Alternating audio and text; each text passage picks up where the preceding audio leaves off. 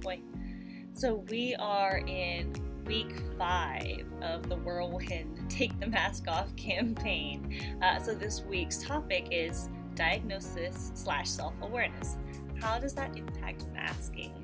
Uh, and so, you know, there's the diagnosis slash self awareness because you know I want to point out that I, you know we're very aware, and I'm very aware that in you know certain parts of the world, um, being able to have access to diagnosis is an is unavailable to many people, or waits are extremely long, uh, and so that can be very difficult uh, for our community, depending on where you live. Uh, so, uh, you know, sometimes just self-diagnosis or just self-awareness, you know, learning, oh yes, you know, this is me, or this might be me, or this could explain things, or this explains things. Uh, just having that ah, breath of fresh air moment um, can be really helpful. So for me, I was diagnosed at the age of 29, and I went a very large chunk of my life not knowing. And what's kind of interesting in retrospect is looking back at masking and then, you know, diagnosis and then like pre diagnosis and post diagnosis. Um, pre diagnosis, a lot of the things that I had just naturally put away masking uh, were would be things that were like autistic behaviors, like uh, you know rocking, um, stimming, and uh, just hiding when I misheard things, or hiding uh, maybe if I was confused, or um, hiding when I was uncomfortable. Um, all the things I was hiding just subconsciously, you know, before I was even diagnosed, kind of was bundled into this this mask of things that was like, this is stuff you only do at home. This is stuff you do when nobody's around. Like you just don't do that in public. And that was this bucket. And then when I was diagnosed, before I even heard about masking, I kind of started to realize that a lot of things in this that I had put in this unacceptable, socially unacceptable bucket were actually things that kind of fell in with my diagnosis. Um, and I mean, all of that took a while to unpack, and I, and, but, but, but, you know, what I realized is, you know, I'm not ashamed of my diagnosis, and I'm not ashamed of me and who I am. And the diagnosis really kind of helped me to accept those parts of me more. Um, you know, because it's you know it's the good and the bad. You know, it, it all it's a, it's a package deal. Everyone has their strengths and their weaknesses, and their you know their their flaws and their strengths. You know, um, every single human has what they're good at and what they're bad at, and I'm good at a lot of things that I know people around me are not good at, and I'm bad at a lot of things uh, sometimes that other people find ridiculously easy, and that can be really, really frustrating.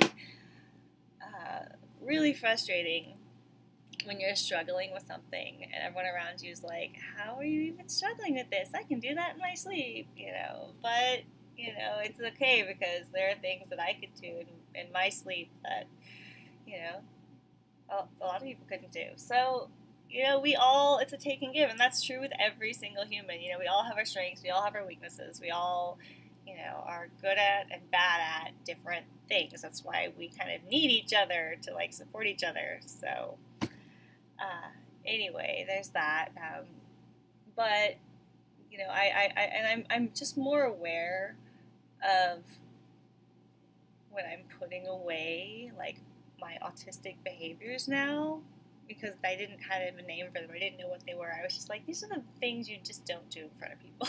you know, that was literally it before I was diagnosed. Um, and now I kind of rather not spend time with people that need me to put so much of myself away, uh, with the exception of work, because, you know, and Kieran brought up a really uh, interesting question he was asking about masking and work. Uh, so, the Autistic Advocate, check out his blog. I don't know if it's up yet. Um, it probably will be up by the time this video goes up, if it's not up yet, or it's coming soon. You should follow him anyway.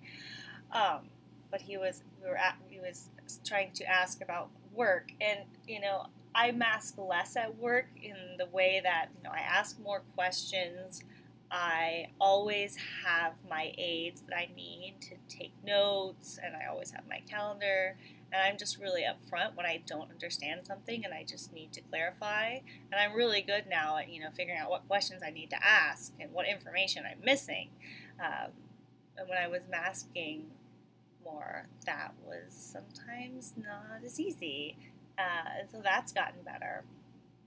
But I still mask at work in the way where it's like I'm not walking around talking to myself, and I try to kind of be more still. And if I'm stimming, I'm being more quiet, discreet. Uh, but I work from home a lot. I work from home a lot. I could not do that every day, seven days a week or five days a week, and I just I just couldn't. I couldn't, and I don't. I, I've just I've changed my lifestyle around a lot too. Um, and everything has just been a lot more clear, you know, since getting the information. It was just kind of like getting this guidebook to myself, and it was all of a sudden, it was like, ah. And so, you know, instead of trying to like hide my weaknesses or try to just really just trying to beat them to death and improve them, now it's like I know where they are and I, I work on them in different ways or I find ways to, you know, supplement them, you know, like with my calendars and my visual schedules and, you know, checklists and task lists and just different things. You know, I have my sunglasses I wear in bright buildings and, you know, all these tools that I just never had before. So that's the main thing. Uh, for me, and that's just my personal experience. Uh, anyway, guys, I've been rambling a lot, and this is getting to be a little bit of a long video, so I'm gonna let you go. If you like this video, give me a thumbs up, and I will know to do more like this one. Uh, and, and don't forget to subscribe, and I will talk to you later. Bye, guys.